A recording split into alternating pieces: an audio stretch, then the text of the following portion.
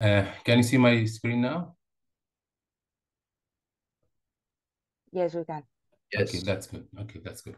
So hello everyone, and uh, thanks for making this happen. And uh, like like today, I, I I I want to talk about making and repairing medical devices, and I and there's a case study that happened in Syria, and uh, it is like it's a project that I I worked with Susan Long.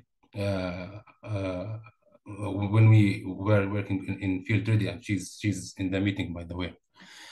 Uh, so why why why I'm going to talk about making and repairing medical devices? Uh, so so usually medical devices, the demand of medical devices happen happens in large quantities or in complex devices, and in in many cases, or let's say in, in, in a perfect situation, it's it will be perfect that we can do everything, but uh, that's not the case when we are working on the ground. So uh, there's always some limitations in about the resources and limitations about the context, about the technology we are using. So at the end, we need to make, let's say, let's call it for now a short list of items that we are going to make or to repair uh, in, in a way that will fit our capabilities and our resources. So, uh, and this is, by the way, something usually or in many situations becomes an obstacle in the work because like usually engineers tend to select to do complex things and which is not always the correct thing to be done.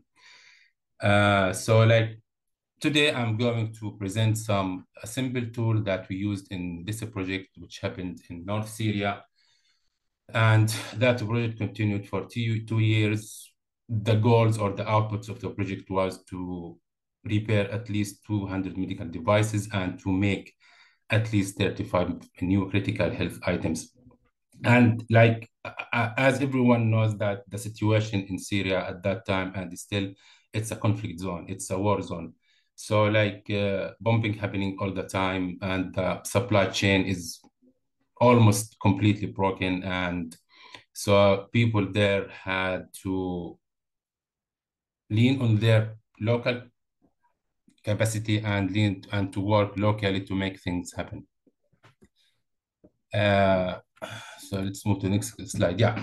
So let's think let's think about it in this way. So like in in on the ground, uh, we have some details. We have data that we collected about the hospitals, the patients, the devices that are broken, the devices that are needed, and at the end, we have a huge list of information.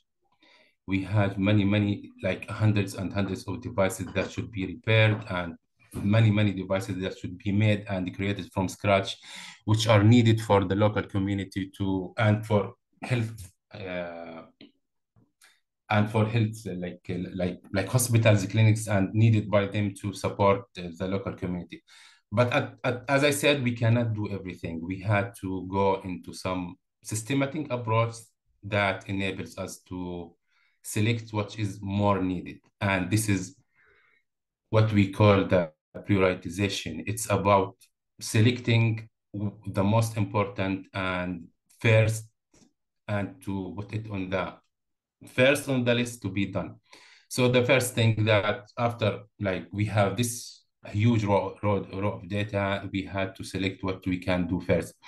And in fact, this is really important because like uh, it's it's like when we work in prioritization and we when we think about selecting the devices, this is something can shift your project from failure to success. And if it's not done in the right way, it could shift your project from success to failure because we cannot do everything. We need to think about what is the most important and most needed, and then we have to think about making it first to serve the community.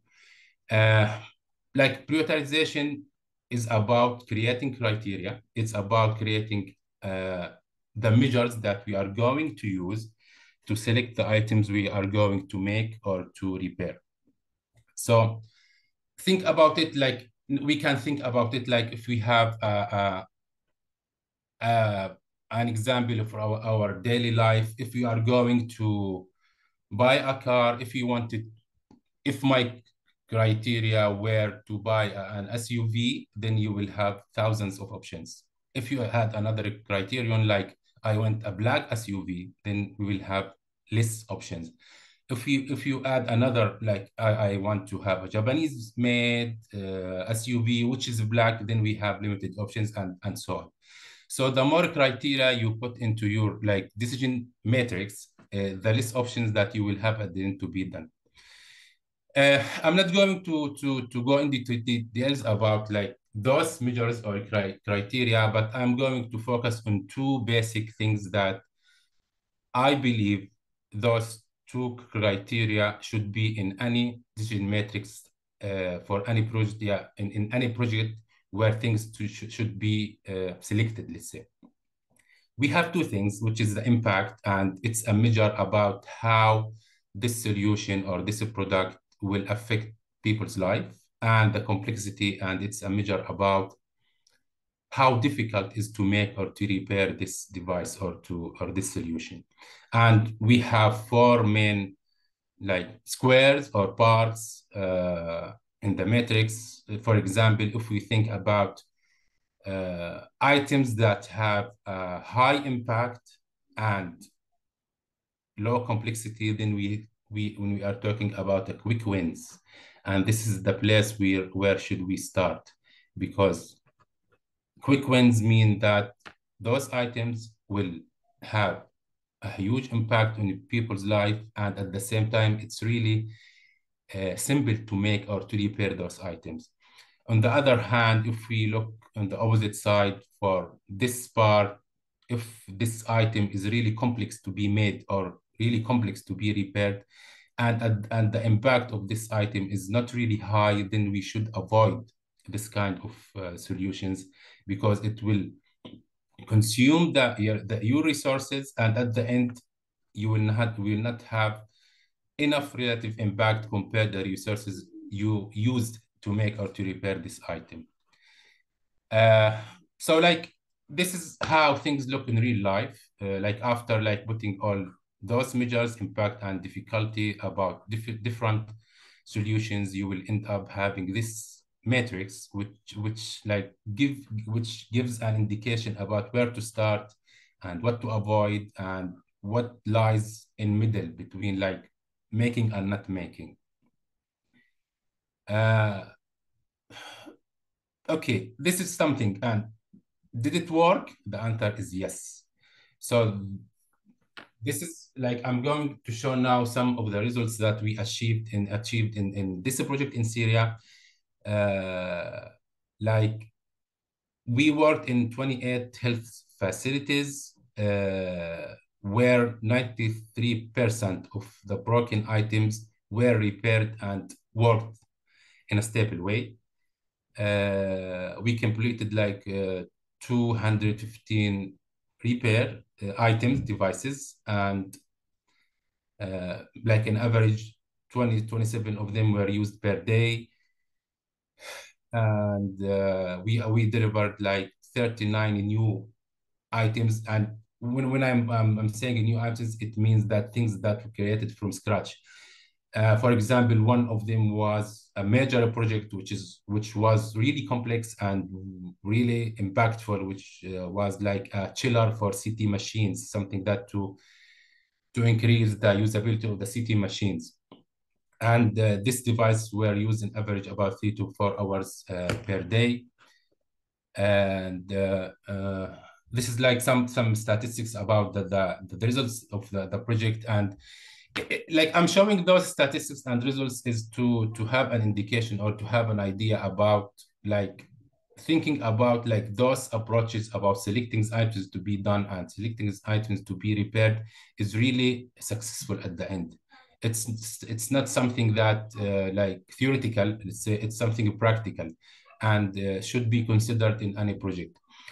Uh, those those are like large numbers. I'm not going to read that, but uh, it's like aggregation of the data about like the, the users of the devices we, we, we created.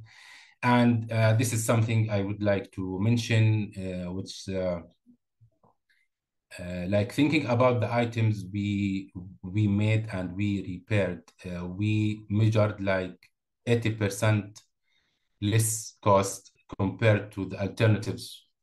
And when I'm saying alternatives, I'm saying about buying a new device or thinking about um, uh, importing the spare part from outside. So like after like measuring all those uh, costs, we we found that we reduced the cost of those items by 80%.